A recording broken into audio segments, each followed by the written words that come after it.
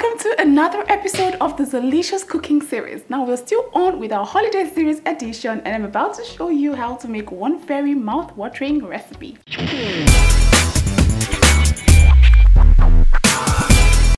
So today I'm going to show you how to make asun. This is a Nigerian staple dish that is made with goat meat, also known as chevon. Let me introduce you to the ingredients.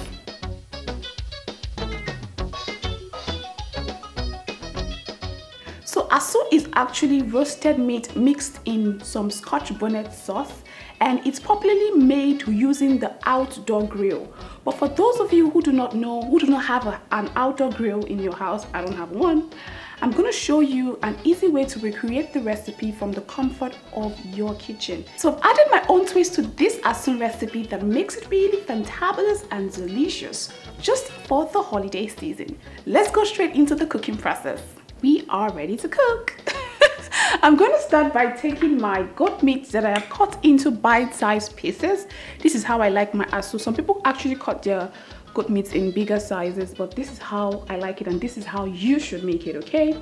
Everything is going to go right into my pot. It's thoroughly washed. That's a lot of goat meat though. And then next up, I'm going to go ahead and just season this with some chopped onions I'm going to use some chopped scotch bonnet peppers as well. I'm going to throw in some goat meat seasoning. You can use any other type of seasoning cube for this. It's totally okay. And I'm also going to throw in some curry powder. Yes, I said it. and some thyme. A lot of people don't add this, but I like to add it to mine because it also helps to elevate the flavor of my asun and then i'm also going to throw in some ground chili pepper. A lot of it. Asun is usually very spicy. And i'm going to sprinkle some salt just all around.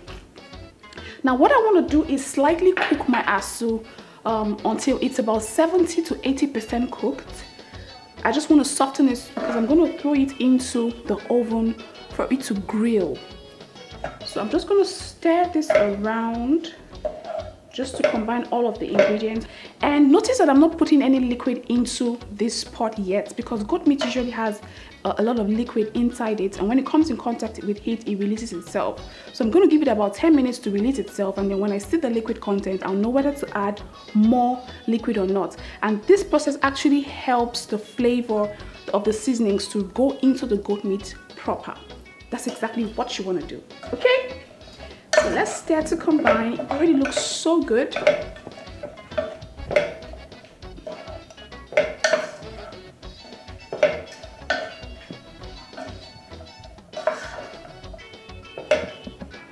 Afterwards, I'm just going to throw in some bay leaves to add more flavor.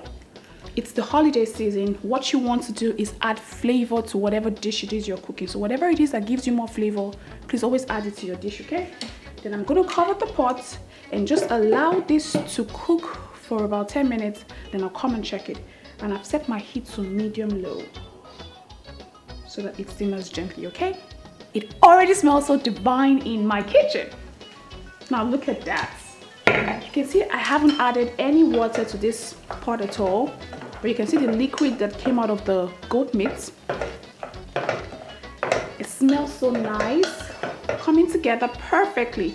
Now I'm to go ahead and add a little more water. Now this is like a pepper water that um, I, I actually got this when I rinsed my blender after blending the peppers that I'm to use to cook this in. So that's why the water is looking red okay? So I'm just to throw that all in. And I'm not putting so much liquid because the goat meat has already been cut into bite-sized pieces and it's going to get really um, it's going to get soft really fast.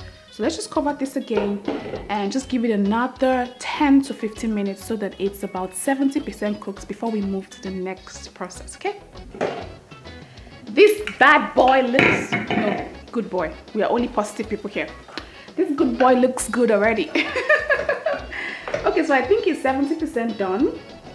It looks so divine smells so amazing now over here i have a tray an oven tray that i have lined with foil paper and I'm going to transfer all of my meat pieces in here.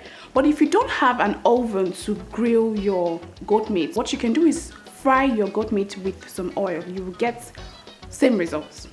Maybe not same but very close. So I'm just gonna turn the heat off take out my bay leaves. Remember I said that the bay, leaf, bay leaves are not edible. I think I put about four leaves in here. You have done your work. Thank you. It's time to go. I have one more to go. Where is it? Now where is it? Where is it? Okay I think I put just three. So I'm going to use a slotted spoon and I'm just going to take all of the meat and ensure that the stock is drained completely and then I'll take it into my oven my oven has been preheating at 350 degrees Fahrenheit and I'm just going to put it there and allow it to bake for a further 10 to 15 minutes I'm going to use this stock to make a very nice palatable soup I'll tell you all about it later.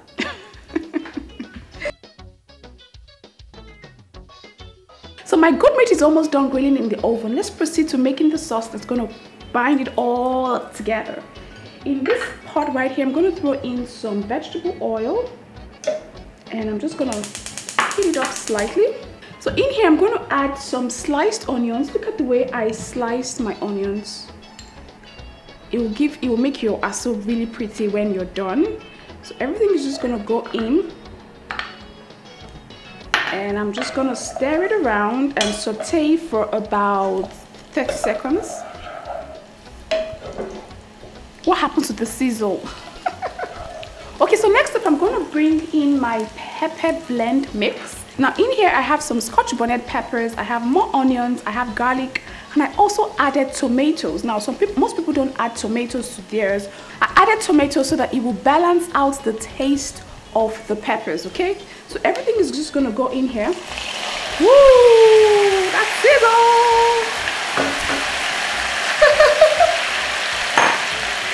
and I'm just oh my gosh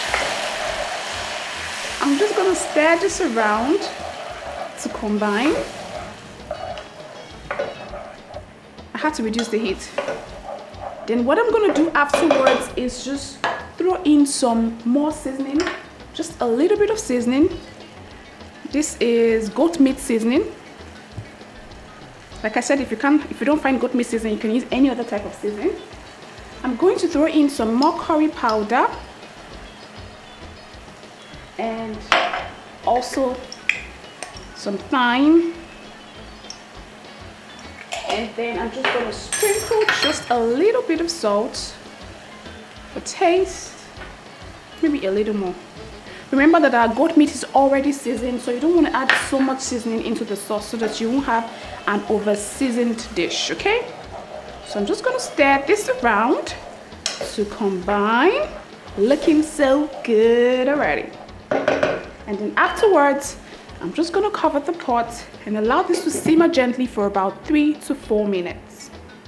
Okay, so as you can see, this is perfectly fried now. You want to fry it so that it would help amplify the flavor of the sauce. Now, in my mind, this sauce is too much for the quantity of asun I have.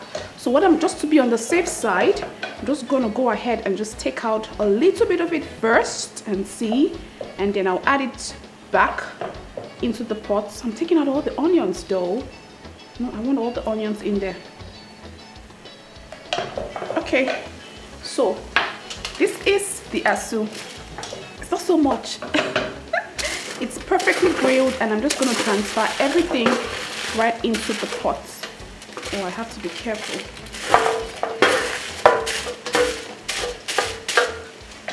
Looking so good already. I'll give this a quick toss to combine. Okay, I think I need to add the sauce. It wasn't so much after all.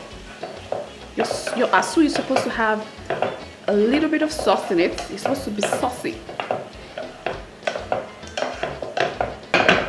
Afterwards, I'm just going to throw in a little tiny little bit of water. Just tiny. And I'm going to garnish with some red bell pepper strips and the green ones and I'm just gonna cover it and allow it to simmer for another two to three minutes, just on very low heat. Just let it simmer pretty and I'll show you what it looks like when we're done. It's time to check on this goodness. Ugh, looks so amazing. I'm just gonna stir it all around to combine and your asun is as good as done. oh my God, looks so good. Okay, It's time for my favorite part, which is the taste test. So before I proceed with the taste test, let me give you some pointers. Now ensure that your goat meat is very soft and tender so that your, your diners and yourself would have a really good eating experience. So you want it to be very, very soft. And if you're not a really big fan of peppers, reduce the quantity of peppers used and you can also use tomatoes to dilute or balance out the peppery taste of the scotch bonnet peppers added. But if you're a big fan of peppers, go ahead and use all of the peppers in the world and have a blast whilst at it. okay, so I'm just gonna take one. I already know how it tastes. But, oh God, it smells so nice here. It's soft. I like the fact that I can still taste the sauce. And that's why I added a little bit of water towards the end. It just tastes right. It's perfect. Pepper is balanced. Everything is just beautiful, beautiful, beautiful. So now you know how to make asun. I hope you will recreate this recipe. And if you ever recreate it, kindly send me your pictures on Twitter, on Instagram, or Facebook. I'm there as Zeelicious Foods. And if you like this video, kindly give us a thumbs up so that we know that you like it. And if you haven't subscribed yet, what are you waiting for? Hurry now and hit the subscribe button and the notification bell. The aroma of this food is just getting into my system. Sorry hit the notification bell beside the subscription button so that you can get instantly notified whenever I upload a new video. I'll see you again next time with another beautiful recipe. Until then, remember to be very kind to one another, love yourselves generously, and happy holidays. Take care.